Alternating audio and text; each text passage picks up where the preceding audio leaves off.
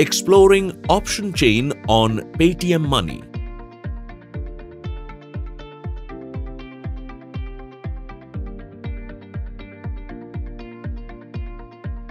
On the app home screen, click on Futures and Options. On the F&O dashboard, you will see option chains on the top. Click on any.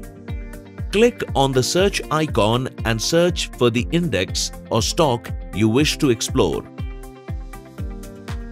Choose from the preferred expiry you wish to explore.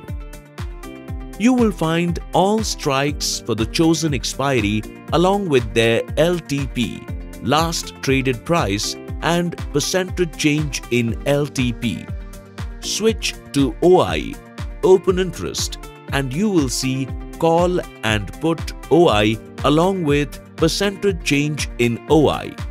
Visually, the red horizontal lines represent call OI for a particular strike.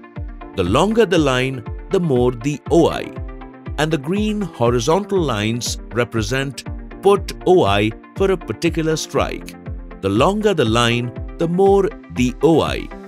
Switch to Greeks and get call delta, put delta, IV, implied volatility and Vega for each strike.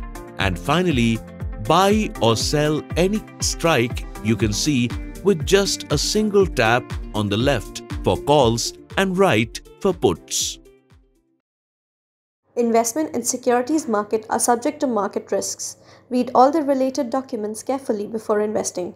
The securities quoted are exemplary and are not recommendatory. Such representations are not indicative of future results.